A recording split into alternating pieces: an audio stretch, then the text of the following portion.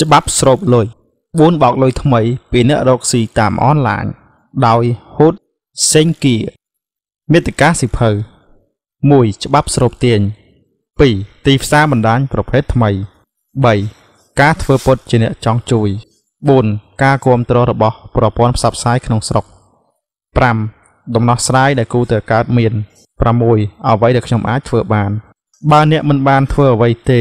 កុំរំពឹងពីលទ្ធផល បើអ្នកមិនចេះឆ្ងល់កុំរំពឹងថាមិនចាញ់បោកគេពូតសេងគីច្បាប់ស្រូបទាញច្បាប់ស្រូបទាញជាការអះអាងមួយ ដែលចេញមកពីបច្ចឹមប្រទេសច្បាប់នេះបាននិយាយថាគំនិតរបស់អ្នកមានអំណាចអាចទាក់ទងជាមួយនឹងចក្រវាលបានបើអ្នកផ្ដោតទៅលើអ្វីអ្នកនឹងទទួលបានរបស់នោះជាមិនខានច្បាប់នោះមាន3ជំហាន គឺជឿសុំនិងទទួល ដោយសារជំហានទាំង3ប្រើ មិនបានផលនៅប្រទេសថៃក៏មានចេញជាច្បាប់ស្រូបទាញដែលមាន4ជំហានគឺធ្វើសកម្មភាពនេះជាច្បាប់ស្រូបទាញដែលកំពុងល្បីនៅលើទីផ្សារអនឡាញក្នុងស្រុកខ្មែរការបន្ថែមចំណុចទី4ចូលមិនត្រឹមតែធ្វើឲ្យច្បាប់ស្រូបទាញលែងមានភាពដើមទេប៉ុន្តែវាคล้ายទៅជាលេសរបស់អ្នកបង្រៀនច្បាប់នេះដែរបើសិនអ្នកចូលរៀន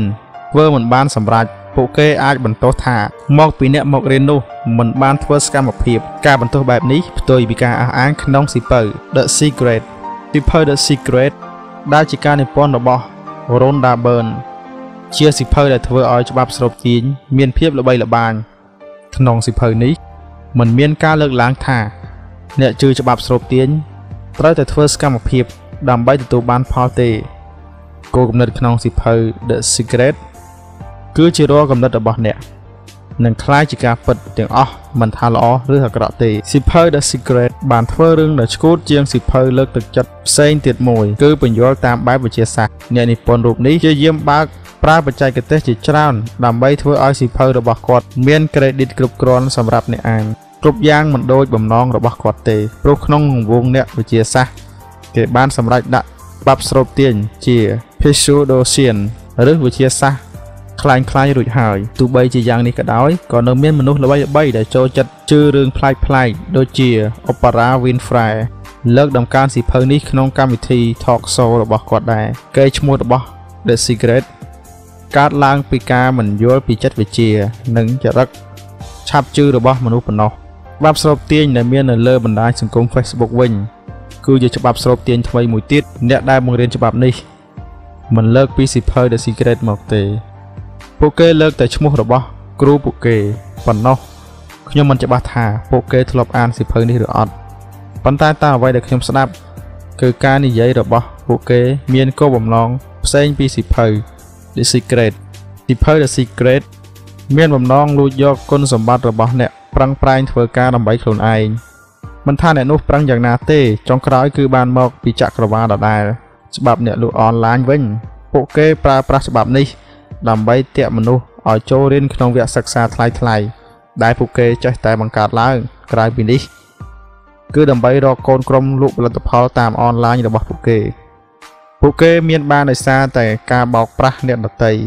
ហើយពួកគេយកជោគជ័យនេះមកធ្វើជាអំណះអំណាងនៃការប្រើច្បាប់ស្រូបទាញការបោកប្រាស់នេះមានលក្ខណៈជាប្រព័ន្ធ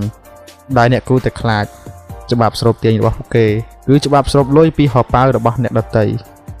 មុនលុយអង្គុយលើកៅអីមាសទីផ្សារបណ្ដាញប្រភេទថ្មី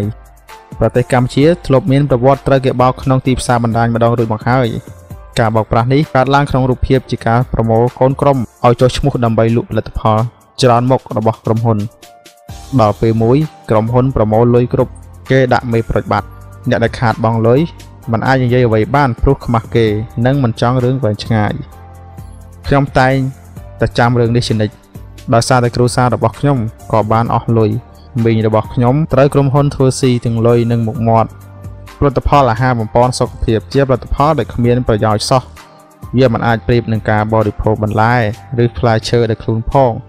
ប៉ុន្តែដោយសារតែវិធីធ្វើទីផ្សាររបស់ពួកគេល្អល្អខ្លាំងពេកទើបមានអ្នកដែលត្រូវអស់លុយទីផ្សារបណ្ដាញធ្វើឲ្យអ្នកដឹងខ្លួនថា ការបោកប្រាស់មានគ្រប់ទីកន្លែងសូម្បីតែចេញពីមាត់បងប្អូនឯង ទីផ្សារបណ្ដាញចេញមកពីប្រទេសថៃឥឡូវនេះមានច្បាប់ស្រូបទាញដែលចេញមកពីប្រទេសថៃដូចគ្នាច្បាប់ស្រូបទាញនេះមិនមែនទុកប្រើតែខ្លួនឯងទេប៉ុន្តែគឺយកមកសិក្ខាសាលាឬវគ្គបណ្ដុះបណ្ដាលដើម្បីបូមលុយពីប្រជាជនខ្មែរគេបោកលើកមុនមិនទាន់ភ្លេចផងឥឡូវមានល្បិចបោកថ្មីមកមួយទៀតហើយអ្នកដែលប្រកាសខ្លួនថាគ្រូចក្រវាលមានគោលបំណងបើកថ្នាក់បង្រៀនថ្លៃថ្លៃ លើសពី1000ដុល្លារដើម្បីបង្ហាញពីច្បាប់ស្រូបទាញខ្ញុំមានចម្ងល់តែមួយគាត់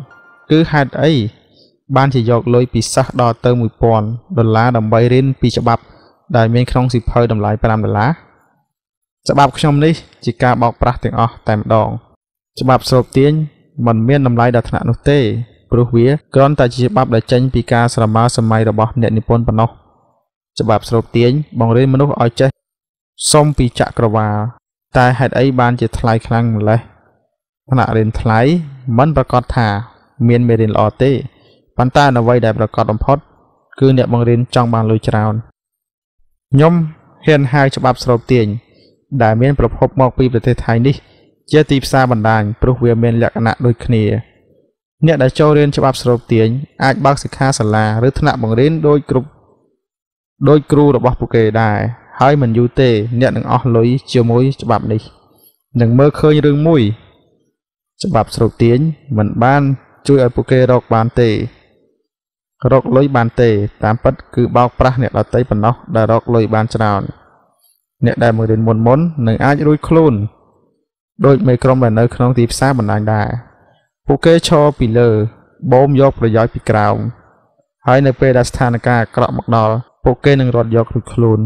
អ្នកដែលវិបាកគឺអ្នកដែលទៅនឹងចាញ់បោកគេ ហើយមិនទាន់បានបោក អ្នកដតីស្រង់ដើមវិញផងខ្ញុំគិតថាច្បាប់ស្រូបទាញនឹងនៅមានឈ្មោះប្រហែលឆ្នាំទៀតតម្រាំតែពួកគេចូលរៀនទាំងនោះមើលឃើញពីភាពស្មោះត្រង់របស់គ្រូឬមេក្រុមរបស់ពួកគេ ច្បាប់ស្រូបទាញនាំមកនៅភាពអាម៉ាស់ដល់គ្រួសារដែលកើតបាន មុននឹងរស់ដើម្បីតែគេបោកបើខ្លួនឯងចាញ់បោកគេទៅហើយ កុំមកបោកសាច់ញាតិឯងបន្តទៀតអីហ៊ូតសេងគីការធ្វើពុតជាអ្នកចង់ជួយ ដើម្បីបោកអ្នកណាម្នាក់បាន អ្នកត្រូវធ្វើឲ្យគេទុកចិត្តជាមុនសិនវិធីធ្វើឲ្យគេជឿនលឿនបំផុត គឺធ្វើខ្លួនឯងជាអ្នកដែលមានចិត្តចង់ជួយ វិធីនេះប្រើបានផលខ្លាំងណាស់ក្នុងនយោបាយនិងសាសនាអ្នកនយោបាយអួតខ្លួនថាចង់ជួយរំដោះប្រជារាស្ត្រចេញពីទុក្ខលំបាក អ្នកសាសនាអួតខ្លួនឯងថាចង់ជួយរំដោះមនុស្សចេញពីអំពើបាបមនុស្សជាច្រើនក៏ស្ម័គ្រចិត្តឲ្យគេជួយដល់ចុងក្រោយក៏ត្រូវធ្លាក់ក្នុងអន្ទាក់នៃប្រយោជន៍ដែលគេរៀបចំទុកអ្នកលក់អនឡាញឃើញលទ្ធផលដែលមានស្រាប់ក៏ធ្វើខ្លួនជាអ្នកចង់ជួយគេដែរពួកគេប្រើពាក្យថាចង់ជួយឲ្យប្រជាជនខ្មែរមានចំណូលច្រើនជាងមុនខ្លាយជាអ្នកមានពន្ធលានដែលប្រើច្បាប់ស្រូបទាញដើម្បីឲ្យច្បាប់គេជួយបានមុនដំបូងត្រូវបង់លុយចូលរៀនជាមុនសិន បានលុយហើយទើបជួយកើតពួកគេមានចិត្តចង់ជួយតែចង់ជួយខ្លួនឯងប៉ុណ្ណោះមនុស្សប្រភេទនេះមិនខ្វល់ពីអ្វីច្រើនទេព្រោះគោលបំណងរបស់ពួកគេ គឺប្រមូលលុយឲ្យបានច្រើនតាមដែលអាចធ្វើបានមុននឹងមានគោលបំណងនឹងមានគេបកអាក្រាតពួកគេដឹងច្បាស់ថាភាពល្បីល្បាញនៅលើអនឡាញមិនអាចរកលុយបានមួយជីវិតទេហេតុនេះហើយពេលដែលអាចរកបានគួរតែលះបង់ភាពស្មោះត្រង់សិនដើម្បីក្លាយជាអ្នកមាន ច្បាប់ស្រូបទាញដែលពួកគេយកមកនិយាយជាការបាត់បង់បំណងការពិតរបស់ពួកគេប៉ុណ្ណោះមិនថាពួកគេជឿលើច្បាប់នេះឬអត់ទេប៉ុន្តែខ្ញុំហ៊ាននិយាយថាពួកគេជឿលើអំណាចលុយច្រើនជាងបើសិនពួកគេមានលុយពួកគេអាចទិញកិត្តិយសឲ្យខ្លួនឯងបានពេលណាចង់ឲ្យគេសរសើរក៏ដកយកចំណាយខ្លះនៃលុយដែលបោកគេបានយកទៅធ្វើបុណ្យមុខកាមេរ៉ាប្រមាណឈុតទៅ ការធ្វើពុតដើម្បីលុយ មិនគួរឲ្យភ្ញាក់ផ្អើលសម្រាប់អ្នកនៅលើអនឡាញទេ ដើម្បីលុយតើពួកគេហ៊ានធ្វើអីទៀតបើសំបីតែមនុស្សដែលទុកចិត្តខ្លួនក៏ហ៊ានបោកដែរនោះខ្ញុំអាណិតអ្នកដែលងាប់ខ្លាំងពេកងប់ខ្លាំងពេកហើយពួកគេថាម៉ែឪអាណាស់ហើយកាន់តែអាណិតម៉ែឪបង្កើតរបស់ពួកគាត់ទៀតវិធីសម្គាល់មើលថា អ្នកណាចង់ជួយអ្នកពិតប្រាកដហើយអ្នកណាកំពុងធ្វើពុត គឺមើលទៅលើលុយពេលដែរពួកគេចាប់ផ្ដើមនិយាយដល់លុយអ្នកត្រូវតែប្រយ័ត្នខ្លួន ពេលខ្លះពួកគេក៏បានត្រៀមហេតុផលដើម្បីទប់ទល់នឹងការសង្ស័យរបស់អ្នកដែរហេតុនេះអ្នកគួរតែត្រៀមសំណួរដេញដោលឲ្យបានច្រើនបើចង់ជួយគេមែនមិនមែនលក់ថ្នាក់រៀនថ្លៃថ្លៃបែបនេះទេបើចង់ជួយគេមែនក៏មិនបាច់ត្អូញត្អែថា បានចំណាយលុយទៅរៀនស្រុកក្រៅអស់រាប់ម៉ឺនដុល្លារដែរ អ្នកជួយក៏ជួយដោយមិនរំពឹងផលតបស្នងឬអស់អ្នកណាឲ្យចូលធ្វើកូនក្រុមទេ អ្នកធ្វើពុតជាចង់ជួយ អាក្រក់ជាងអ្នកមិនជួយទៀតផង ភាពស្មោះត្រង់ប្រើមិនកើតទេក្នុងការរកស៊ីជាមួយច្បាប់ស្រុកទាញព្រោះច្បាប់នេះមិនអាចរកលុយបានដោយស្មោះត្រង់ជួយខ្លួនឯងជាមុនសិនមុននឹងកាន់លុយរាប់ពាន់ដុល្លារទៅឲ្យគេជួយបង្រៀនពីច្បាប់ស្រូបទាញ ដោយហូតសេងគៀការគ្រប់គ្រងរបស់ប្រព័ន្ធផ្សព្វផ្សាយក្នុងស្រុក ច្បាប់ចក្រវាលមានលុយក្នុងដៃហេតុនេះ ពួកគេខ្វះលុយទៅឲ្យប្រព័ន្ធផ្សព្វផ្សាយល្បីៗក្នុងស្រុក ដើម្បីលើកមុខមាត់របស់ពួកគេ នៅពេលលុយដល់ដៃទោះបីប្រព័ន្ធផ្សព្វផ្សាយដឹងថានេះជាការបោកប្រាស់ក៏ដោយក៏នៅតែខំមាត់ក្តាប់លុយក្នុងដៃឲ្យជាប់ផ្សាយងាប់ចោលដើម្បីបាន sponsorship បន្តទៀត ខ្ញុំខកបំណងយ៉ាងខ្លាំងលើប្រព័ន្ធផ្សព្វផ្សាយធំមួយដែលទទួលលុយពីគេហើយកែប្រែចំណឺរបស់ខ្លួនមកចូលរួមនឹងច្បាប់ស្រូបទាញដែរសហគ្រិនជាមនុស្សដែលដោះស្រាយបញ្ហា ជាពិសេសគឺបញ្ហាសង្គមសហគ្រិនមិនមែនហក់ចូលរកស៊ីដើម្បីលុយមួយមុខទេពួកគេចូលដើម្បីការផ្លាស់ប្ដូរបើមានការផ្លាស់ប្ដូរតែបន្តិចពួកគេនឹងភ័យស្ទើរតែចេញអាចភ្លាមសហគ្រិនជាធនធានសង្គមដោយសារតែលុយធ្វើឲ្យប្រព័ន្ធផ្សព្វផ្សាយ សរសេរព័ត៌មានប្រេះផ្ដាស់លាបពណ៌ឲ្យច្បាប់ស្រូបទាញคล้ายជារឿងពិសេសមួយ តាមពិតច្បាប់ស្រូបទាញជាច្បាប់ដែលគ្មានអំណះអំណាងនិងជាច្បាប់សម្រាប់អ្នកចង់បង្កើតគោលការណ៍ជោគជ័យរបស់ខ្លួនសោះការគ្រប់គ្រងរបស់ប្រព័ន្ធផ្សព្វផ្សាយអាចធ្វើឲ្យប៉ះពាល់ដល់ការសម្រេចចិត្តរបស់ប្រជាជនខ្មែរពួកគាត់ធ្លាប់តែទុកចិត្តនឹងតាមដានអ្វីដែលប្រព័ន្ធផ្សព្វផ្សាយផ្ដល់ឲ្យ នៅពេលដែលប្រព័ន្ធផ្សព្វផ្សាយត្រូវបានគេទិញតើឲ្យប្រជាជនធ្វើបែបណាទៀតគ្រូច្បាប់ចក្រវាលទាំងអស់នេះ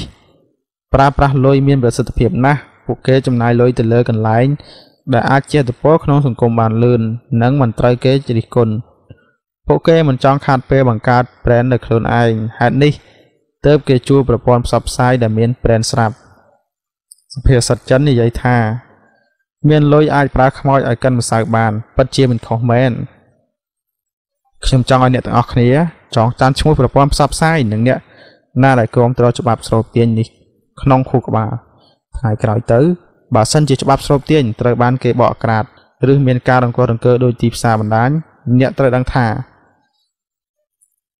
តើអ្នកណាដែលចូលរួមក្នុងចលនាបោកប្រាស់នេះកុំជឿមនុស្សលុយអាចទិញបានកុំជឿមនុស្ស ដែលប្រើច្បាប់ស្រុកទាញកុំជឿមនុស្សដែលហៅខ្លួនឯងថា ជាគ្រូចក្រវាលកុំជឿអ្វីដែលខ្ញុំសរសេរដោយមិនស្រាវជ្រាវដោយខ្លួនឯងដំណោះស្រាយដែលគូតែកើតមានរដ្ឋាភិបាលគូតែលូកដៃខ្លះទៅលើរឿងបោកប្រាស់ដែលមិនសមហេតុផលបែបនេះมันគូចាំទទួលតែ ការបោកស្ទើរតែពេញប្រទេសហើយទៅចេញលិខិតពីក្រសួងមកនោះបើដឹងថារឿងនេះមិនមែនលេងសើចហើយ គូតែបញ្ចប់វាហើយឲ្យហើយទៅបើខ្ញុំបន្ទោសតែរដ្ឋាភិបាលក៏មិនសមដែរព្រោះរឿងនេះពាក់ព័ន្ធទៅនឹងជំនឿផ្ទាល់ខ្លួនពេលខ្លះពួកគាត់ជឿថាច្បាប់ស្រូបទាញអាចហៅមាសប្រាក់ចូលក្នុងកាបូបគាត់មែនទើបគាត់យកលុយទៅបោកទៅឲ្យគេបោកពេលខ្លះអ្នកដែលត្រូវគេបោកចេញមកការពារអ្នកបោកប្រាស់ហេតុនេះ ទោះបីច្បាប់លូកដៃក៏ប្រហែលជាមិនបានផលដែរច្បាប់ស្រូបទាញនិងអស់ទាញប្រទេសខ្មែរឲ្យដើរថយក្រោយ វាអស់មនុស្សទៅលឿនទៅជឿចក្រវាលដែលជារឿងគួរឲ្យចង់សោចនិងហួសពីការជឿលើសាសនាទៀតច្បាប់ស្រូបទាញប្រឆាំងនឹងវិជាសាស្ត្រលុយដែលខាតទៅលើការចូលរៀនច្បាប់ស្រូបទាញអាចយកមករៀនជំនាញពិតប្រាកដបាន អ្នកដែលគ្មានជំនាញ នឹងប្រើវិធីរកលុយដោយការបោកប្រាស់អ្នកដតីបន្តទៀតយូរទៅប្រទេសខ្មែរមានតែការបោកប្រាស់និងលក់ក្តីសង្ឃឹមក្នុងតម្លៃថ្លៃអ្នកទាំងអស់គ្នាមិនឆ្ងល់ថាហេតុអីបានជាប្រទេសយើងរីកចម្រើនយឺតក្នុងផ្នែកជំនាញបច្ចេកទេសទេ ការខ្ជិលរិននិងចង់បានស្រាប់ស្រាប់ធ្វើឲ្យយើងដើរមិនទាន់គេពេលនេះថថែមច្បាប់ស្រូបទាញមកពីលើទៀតយើងគ្មានថ្ងៃតាមទាន់ប្រទេសជិតខាងឡើយ អ្វីដែលគូធ្វើ គឺយកលុយទៅរៀនអ្វីដែលមានប្រយោជន៍ជាងនេះ ហើយរកលុយរកមុខរបរឬការងារសមរម្យដើម្បីចិញ្ចឹមខ្លួនឯងកុំចាំចក្រវាលចិញ្ចឹមព្រោះច្បាប់ចក្រវាលនេះកើតមកពីការស្រមៃរបស់មនុស្សមួយក្រុមទេ ក្តីស្រមៃនេះនឹងទះមកអ្នកមួយទំហឹងនៅថ្ងៃណាមួយមិនខាន ច្បាប់ស្របទាញជាផ្លូវធ្វើឲ្យគ្រូចក្រវាលខ្លាយជាអ្នកមាន និងជាផ្លូវធ្វើឲ្យសិស្សចក្រវាលជាប់អំណុលនិងព្យាយាមកាត់ស្តុកលុលេដែលប៉ះពាល់ដល់សុខភាពអ្វីដែលខ្ញុំអាចធ្វើបាន ក្នុងនាមជាអ្នកនិពន្ធទូនីតិរបស់ខ្ញុំគឺ សង្កេតសម្គាល់និងយកមកចែកចាយខ្ញុំអាចធ្វើបានត្រឹមតែសរសេរពន្យល់ពីអ្វីដែលខ្ញុំដឹងនិងហាមឃាត់អ្នកដែលមិនទាន់ត្រូវគេបោកប៉ុណ្ណោះខ្ញុំសរសេរជាលក្ខណៈលេងសើចផងនិងឌឺផងដើម្បីឲ្យអ្នកអានមើលឃើញនិងគិតទៅខ្លួនឯង បើសរសេរត្រង់ពេកគេមិនអាន វាធ្វើឲ្យខាតពេលរបស់ខ្ញុំខ្ញុំមិនអាចធ្វើអ្វីឈ្នះគ្រូចក្រវាលទាំងនោះទេពួកគេមានគ្នាច្រើនណាស់បើគេចង់ធ្វើស៊ីខ្ញុំនៅលើអនឡាញខ្ញុំប្រកាសជាចាប់មិនខានបើគេព្រួយគ្នាជេរក៏ខ្ញុំមិនអាចតបទៅវិញទាន់ដែរលុយគេច្រើនគេប៊ូសផុសតែលើ Facebook ក៏វីដេអូរបស់គេទៅដល់មនុស្សរាប់ម៉ឺននាក់ដែរ ខ្ញុំវិញបានត្រឹមតែសរសេរផុសនៅលើ Facebook រាល់ថ្ងៃដើម្បីឲ្យមានគេដឹងខ្លះប៉ុណ្ណោះបើខ្ញុំរាប់មិនខុសទេអ្នកដែលបានស្ដាប់នឹងអានអ្វីដែលខ្ញុំសរសេរតាក់ទងទៅនឹងច្បាប់ស្រូបទាញមានមិនដល់500នាក់ផងស៊ីភើមួយក្បាលនេះគឺជាអ្វីដែលខ្ញុំអាចធ្វើបាន ដើម្បីទប់ស្កាត់ចំនួន អ្នកត្រូវគេបោកដោយប្រើប្រាស់ស្រូបច្បាប់ស្រូបទាញខ្ញុំសរសេរស៊ីភើនេះ ប្រើរយៈពេលខ្លីមែនប៉ុន្តែខ្លឹមសាររបស់វាកើតចេញពីការនិយាយនិងសរសេររបស់ខ្ញុំជិតមួយខែហើយអត្តន័យអាចនឹងខ្វះខាតប៉ុន្តែអ្នកទាំងអស់គ្នាអាចមើលឃើញពីចេតនារបស់ខ្ញុំក្នុងសិភៅនេះការបោកប្រាស់ថ្មីថ្មីនឹងកើតឡើងជាបន្តបន្ទាប់ហេតុនេះបើគ្មានអ្នកណានិយាយអ្វីទេ ការបោកប្រាស់នោះនឹងធ្វើឲ្យប៉ះពាល់ដល់មនុស្សកាន់តែច្រើនខ្ញុំទៅផ្នែកនឹងច្បាប់ស្រូបទាញពេកទៅនៅមិនសុខក្រពេលដែលអស់ឃើញនៅលើ Facebook ខ្ញុំសង្ឃឹមថាសិភៅនេះនឹងជួយឲ្យអ្នកទាំងអស់គ្នាប្រយ័ត្នខ្លួនជាងមុន ជាមួយនឹងច្បាប់ស្រូបទាញកុំឲ្យគេបោកលុយយើងបាននឹងងាយទោះបីយើងរកលុយបានមកងាយក៏ដោយពេលត្រូវគេបោកលុយយើងបាត់ភាពឆ្លាតរបស់ខ្លួនឯងហើយគ្រូច្បាប់ចក្រវាជួយអ្នកឲ្យដឹងខ្លួនថាការបោកអ្នកដតីជារឿងងាយស្រួលហ៊ុតសេងគី